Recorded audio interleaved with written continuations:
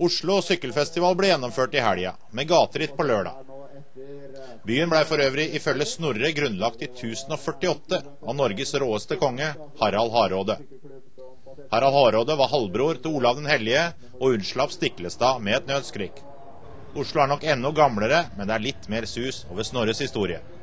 Knallvær og spennende løype på 1,7 km rundt Akershus festning. Som for øvrig ble påbegynt av kong Håkon Magnusson i 1290. I kvinneklassen stiller juniorer og seniorer i samme felt, og svenske Sara Olsen hører sikkert det historiske suset fra svunne beleiringer når hun stikker solo tre runder før mål. Feltet henter henne inn akkurat på mållinjen. Og på målfoto blir det klart at junioren Emilie Moberg fra Halden etter en drøy halvtimes kjøring er raskest av alle. Ja, var det, ja. ja. Nei, da ble det norsk, da. Det er bra. Lover godt for neste sesong. Jeg hørte du har gjort noe kontrakt med noen andre lag, stemmer det? Eh, ja. Eh, fra oktober av så er jeg med på high, Team Hightech. Eh, det betyr egentlig ganske mye, fordi jeg har følt at miljøet i Halden er ganske lite.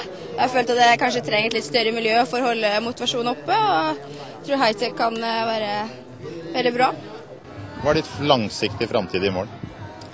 Det er å kunne være med i VM og kjempe om seier eller pallplass. Juniorgutta sykler i 40 minutter pluss to runder, og vinnes klart av Daniel Slåtto Gomnes fra Ringerike sykleklubb. Det var mye vind i dag, så feltet var vanskelig å komme fra, men så greide vi å komme av to stykker på slutten. Jeg og Sven Erik Bystrøm, og det var en veldig ålreit partner å ha med seg. Så det gjorde jo noe av jobben eh, en del enklere. Den spurten så ut som du hadde full kontroll på. Når var du klar over at du skulle dra til Thailand? Jeg kikka meg tilbake når det var igjen 300 meter, og da så jeg at jeg jeg hadde kanskje ikke mer enn 50 meter. Så prøvde meg på en litt langspurt, og det, det gikk. Men Elite kjører 50 minutter pluss to runder. Og tross teamarbeid og vilje fra Trekk Adecco er Glåmdal sterkest. Nok en gang med yoghurt først. I dag var det Rune som forsvarer lagets og familiens ære. Jeg har aldri klart dette her uten oss i dag. Gratulerer siden det begynner å bli en vane. Ja, takk. Nei, vane jeg vil ikke si at det er det, men det er alltid moro å vinne.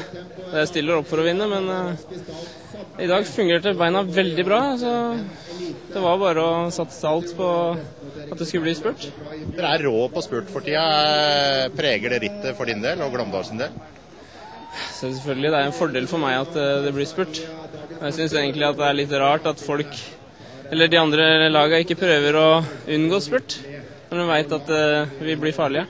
Jeg snakka med Lillehammer i dag, og de eh, var fast bestemt på å få folk av gårde fordi de mangla spurtkanonene sine. Så du noe til det? Nei, eller det var jo folk som prøvde å gå av gårde i hele dag, men eh, egentlig så syns jeg ikke det gikk fort nok til at det skulle gått av gårde noe brudd, da. Det burde blitt kjørt litt mer. Linus fra Trekk Adecco var sikker på han skulle greie det. Hvor sikker var du på at han ikke skulle greie det? Eh, som spurter så er du ganske selvsikker, så jeg var helt sikker på at jeg skulle ta han i dag.